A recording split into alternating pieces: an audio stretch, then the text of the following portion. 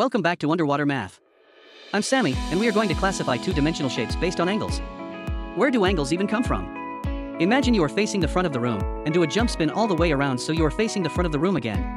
Congratulations, you have rotated 360 degrees, or you have made a circle. Circles have 360 degrees. If you cut a circle in half, it is 180 degrees. If you cut it in half again, you have a 90 degree angle, which is formed by the two perpendicular lines. There are four 90 degree angles in a circle. Often, we see angles outside of circles. Here are two right angles, both formed by perpendicular lines. Acute angles are less than 90 degrees. Like an 80 degree angle, 50 degree angle, 30 degree angle, or 10 degree angle. They are such cute little angles. Obtuse angles are greater than 90 degrees. Like a 100 degree angle, 115 degree angle, 140 degree angle, 160 degree angle, or 170 degree angle.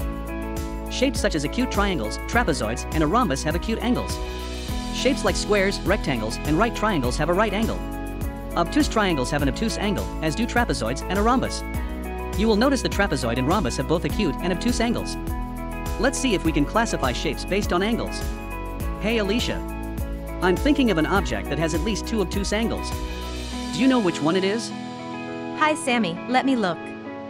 The triangle only has one obtuse angle, and the square has four right angles. It must be the hexagon.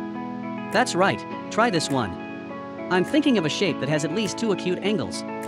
I know the square only has right angles, so we can eliminate that shape.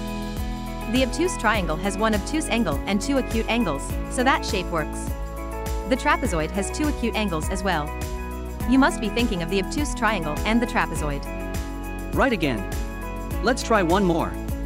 How would you classify this group of shapes?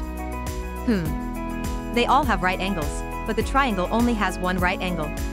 I would say these are polygons with at least one right angle. Right again. Thank you for playing. Have fun practicing.